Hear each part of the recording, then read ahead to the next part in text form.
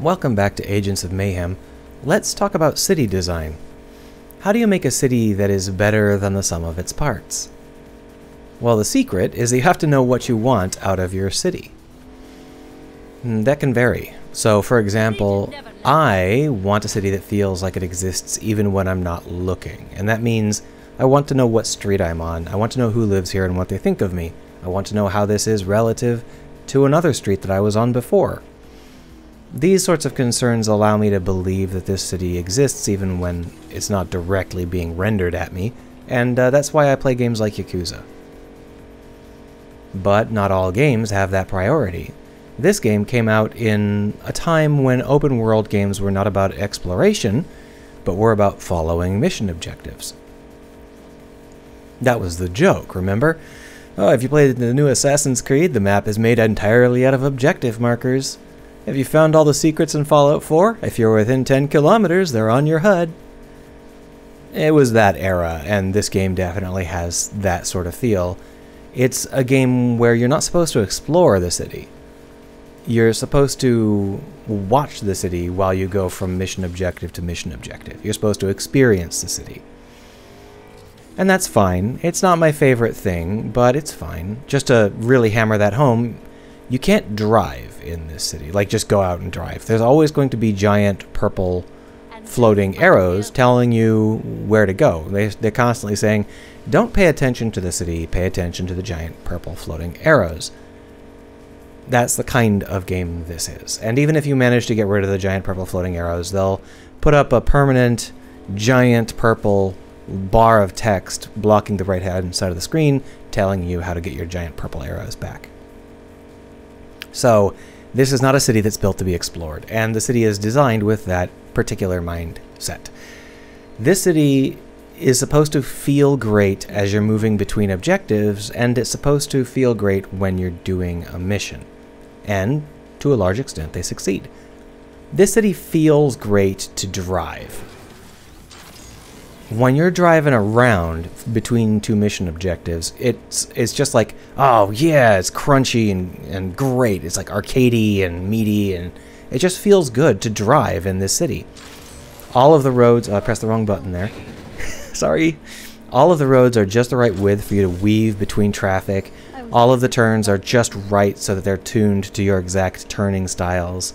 Uh, you're always going flat out. There's no like hills or anything it's intended for you to have that super agent sort of feel, you know, where you're like, oh, zoom, zoom.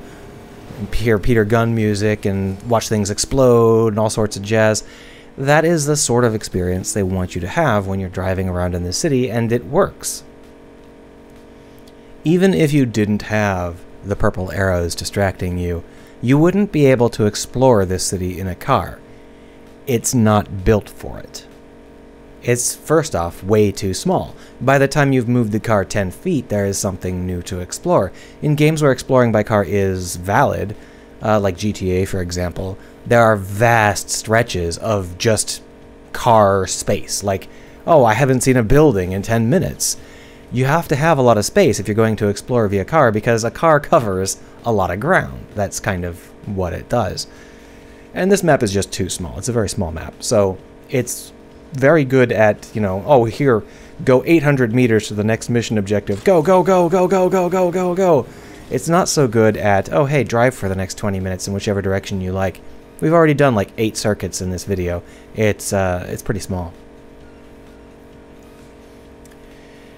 That is uh, really well done, though. I mean, their objective wasn't to create an explorable city, it was to create a city that feels great, and it does. I also love how it looks. This cartoon city is fantastic. It's a little bit bloomy, a little bit post-effectsy, yes. but it always feels like you're somewhere interesting and crunchy whenever you stop and get out and shoot some dudes. That's the whole reason it's here. The city doesn't doesn't have an assembled form that is conducive to exploration. But it always feels like you're somewhere when you get to a mission objective and then decide to shoot somebody. It always looks good. The various sectors have different color grades so that you're always feeling like you're somewhere interesting based on the color grading as well. Uh, it's, it's fantastic. Another thing they do really well is the streets, which sounds a little bit strange, but hear me out. Most open world city games have terrible streets. Because one of the things you need to do when building your streets is make sure that the end of your street, the sight line to the end of your street, is clear enough that you can see where you're going. And most games don't do that. Most games will block off the sight line with something, and this game doesn't. You can always see what's at the end of the street, and it's always super clear what that is and where you're headed. For example, if I were to take this turn here, well, I have to actually go down the street. you can see that I'm headed over into the construction area, and that's super clear because I can see it. Uh, and then if I were to take another turn, like say here, where am I headed? Oh, I'm headed down uh, just off the tech sector. I'm headed towards that giant uh, black spider place with all of the shops and stuff. I can always tell where I'm going, and it's more than that. There's always a city gradient, meaning that the sides of the street, the buildings on the sides of the roads, always change over the course of the road. So you can see how the city changes along the road as you're moving, not just where you're going in the long run. That's really powerful. If I can see that the buildings are going from mom and pop shops and getting bigger and bigger and bigger, that really tells me that I'm coming into an area where it's not mom and pop shops anymore. We're turning into an office district. Similarly, when I can see that there is suddenly a, you know, a blast of purple, I know that this is going to be a temple area. All of these little details really sell the experience. They're really well done. Uh, I really enjoy being in this city as much as I'm allowed to. But that's kind of the problem, isn't it? I'm not really allowed to be in this city very much. So, let's talk about uh, some of the things I don't like. The city isn't built for exploration. It's not built to let me be in it. And that is a tremendous problem for me. Uh, and this is something where obviously it's a matter of, of your personal objectives, right, in terms of your development. But even games where the purpose is to be very mission based, the cities are still allowed to exist. The cities are still given a lot of attention so that the player will feel like any given spot in the city is different. Just as an example, most games have a difference in how the various districts play. Uh, and usually that would be something like different evil overlords. So if you were playing Crackdown, every district has its own evil overlord. If you're playing Yakuza, every district has its own mafia boss that has a very different sense of style. Uh, and, you know, most games like this are like that. But that doesn't happen in this game. In this game, it's pretty much uh, everybody is identical everywhere. All you do is fight the same enemies and pick up the same treasure chests, no matter what you're doing. Now, to some extent, that is um, changed a little bit just because the the navigation is so different from sector to sector. It's very different when you're running along construction girders as opposed to medium-sized office buildings as opposed to low-slung residential district buildings. That part does feel pretty different, and I do enjoy that. But we're always fighting the same enemies. We're always picking up the same loot. There's no there's no indication that any of these places are distinct or unique in any way, and that is a real letdown. Uh, just as an example, one of the biggest problems I've got with this city are the big black spider bases. I'll show you once we get to the top. These big black spider bases, uh, there's like six of them, and how did I fall through?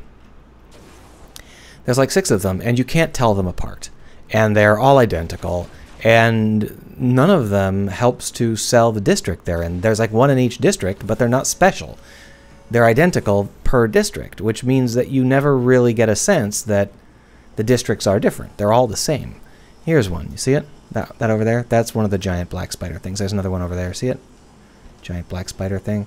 There's one in each district, and they are literally the same. There's no, like, one of them doesn't belong to the weapons dealer, and one of them doesn't belong to the tech bro. They're all exactly the same. And uh, that really reduces the kinds of um, joy you can get from engaging with them, because I'm not going to be engaging with Steel Toe. I'm going to be engaging with another pack of random goons. And to make matters worse, they always get retaken automatically by the computer after an hour and a half. So engaging with them is completely pointless. It gets you nothing. Hooray. That's a probably more of a constraint of time and budget and freedom rather than a choice. I doubt they set out to make all of their bases, all of their sectors identical. Who told you? I'm sure that at some point they had planned to make these districts have their own supervillains attached. Um, and that would have been a lot of fun because when you do that, you can do a lot of stuff because you can make the whole, the whole area look like that supervillain's motif. So if Steel Toe was was that base over there, then that whole district would be made over as like a cyberpunky machine fetish district, and it would have been really cool looking and different and interesting. But that would have cost money and time, and clearly they didn't have enough of either. So that's one of those decisions where I doubt it was made on purpose. I think that was constraints imposed on them. Uh, similarly, in many games where a city is supposed to feel like it exists, the game will give you a lot of engagement points inside of the district that are not related to the core play of the game. For example, in Yakuza, although you do beat up a variety of enemies that are themed around each district, you uh, you also get a chance to purchase things from shops and do side quests from people who are actually connected to the district you're in, and uh, you can even buy places and run them and that sort of stuff.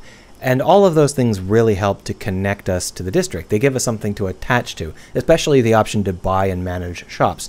That really helps to give us something to pay attention to in an ongoing state. We're like, okay, yeah, uh, you know, over in the the Chinese district, I've got a shop that I need to help out with and that sort of stuff. And I think that's what these bases were supposed to do. We're like we're like going to have to try and manage them so that when they're recaptured by the enemy or when the enemy attacks them, we have to make sure that doesn't go through and we maintain control of the sector. It didn't work out. But that kind of idea can really help to attach us to the city if it does work out. So uh, now we're going to talk about something that I actively don't like. This is something that I just plain old disagree with them on, and that is landmarks. To me, landmarks are an incredible part of a city. They're incredibly important.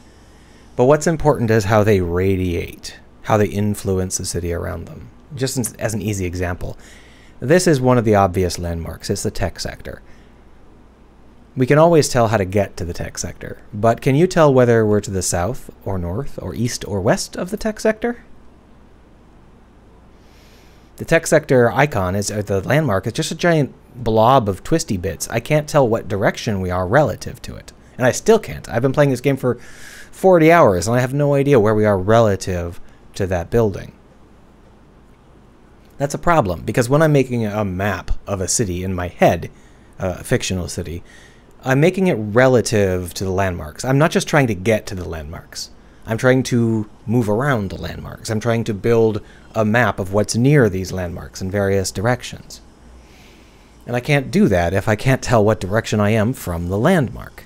And all of the landmarks in this game are undirected. They have no sense of, of direction to them, which makes it extremely hard to build a mental model of where you are. This is especially true of the black spider bases that we were talking about because there's six of them. So not only is each one individually impossible to tell apart from which direction you're going, you don't even know which one you're at. So it's like, oh, I spotted a black spider base, so I could be, oh, literally anywhere in the city. Got it, thanks. But the worst landmark for me is that one. Yeah, can you not tell what I'm looking at? It's uh, it's that one. It's it's that one. That one? That one the whole city is ringed by this giant donut of eternal mid-sized towers going off to the end of space and time. And the problem is they're quite loud. I can't, with my you know human eye, instinctively see what I'm supposed to be getting out of this view. Now, in terms of what I'm supposed to be getting, I'm supposed to be understanding that that is the loading dock. That is the river loading dock right there. But because there's so much noise just past it, what I see is a giant, endless city. I don't get the chance to really feel that loading dock. I don't I don't really know it exists. And that donut of buildings is basically the same all the way around. So if we look over here, this is the residential sector. Can you tell that it's the residential sector? Or, like me, do you simply see a little bit of residential followed by an endless city? So once again, this donut is an undirected landmark. If the donut varied from place to place, then that would be something I could use to attach more meaning to these vistas. So if the donut didn't have any big buildings in this direction, but instead was just residential or you know petered off into farms or something, I would be able to say, oh, that direction is residential. I wouldn't have to try and say, okay, well, what part of what I'm seeing is actual play space and what part isn't. Similarly, if I looked over here and I saw a bunch of warehouses stretching off to the horizon, I would be able to say, oh, that's the warehouse direction. I don't have to stop and try and consider what parts I'm seeing and what parts I'm not seeing. That's, um, that's really important to me, and this donut makes it so that when you're on top, when you're looking down over the city, you actually know less about how the city is laid out than if you're just driving because the donut is so loud, I can't actually see the city. All I can see is the frickin' donut. And that means that the higher I get, the less I understand the layout of the city. Oh, and to me, that's just a bad choice. I just don't like it. That's, that's you know, my personal preference there. Related to this, sort of, there are a lot of iconic elements, and this is true in most cities, right? Like, for example, there'll be uh, the docks, or there'll be uh, the observatory. And most games are like that. Most open world city games have particular iconic set pieces inside their city. For example, the university, or whatever, right? Depends on the game. And normally, what you do is you have supportive elements going out from. Oh, that was the wrong character to jump with. Oh well. Normally what you do is you have supportive elements going out from that iconic building. So if you have an iconic um, uh, university that you want to uh, have have an impact, then you create a university district. And you've got that iconic university, but you've also got radiating around it a bunch of university town support buildings, you know, cheap pizzerias and terrible apartment buildings. Uh, if you want to see that in a game, you could play um, Watch Dogs 2. I think you'll have to involve, I, th I think you have to install some malware before you can play it, but you can play it, and you'll see that they have that particular kind of setup. That is uh, something I really enjoy because it means that I can tell when an iconic element exists, even if I'm not looking at that iconic element. I can tell that the university always exists because the buildings I'm currently moving through wouldn't exist without the university to support. You see, it gives that lasting sense of presence that I really enjoy. That's not necessary in this kind of game. I'm not trying to say they should have done that, because their focus here was on creating a game where it feels cool to wander around the city.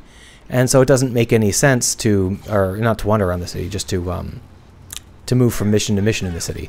So it wouldn't make any sense to try and add a sense of permanence to something where they're literally building the city around the idea that there is no sense of permanence. But that's how I prefer it, and it's fun to see the difference between how they do it here and how they do it there. For example, if we were to open the map, these loading docks over here, um, this cargo bay, this is uh, one of the major parts of the game. A ton of stuff happens here. It's where everybody brings in their illegal robot arms. Um, this is something that should be supported by warehouses. It's basically the big warehouse area. But there are no warehouse buildings near it. In fact, right next to it, we have these giant skyscraper towers of office buildings, high quality office buildings, too. Why would that be what's right next to the loading docks? So obviously it doesn't matter because the point of the game is not to make sense as a city that you explore. It's to be cool when you get to place, get to places, and it is cool to be in those locations, even if they don't make sense, you know, in a long uh, exploration sort of way. Let's talk a little bit more about distance, right? So this game is a game where you're supposed to drive from mission objective to mission mission objective, but at the end of the day, it's just more fun to walk, and I think that's mostly because walking is rarer. The ability to jump uh, up a building and try and navigate up the sides of these towers is simply less common. than the ability to drive a car. Every every game has the ability to drive a car basically. And that means that it's something where I want to run across the top of the building everywhere I go, and the city isn't built to let me do that. I'm not sure why there's so much focus on parkour, since very few of the missions benefit from it. But uh, my guess is that they thought it would be cool, and it is. However, the city isn't built for it. It's tough to explore this city on foot because it is exactly the wrong size. It's the size of a city where you're supposed to drive a car. So, for example, oh, let's go explore that.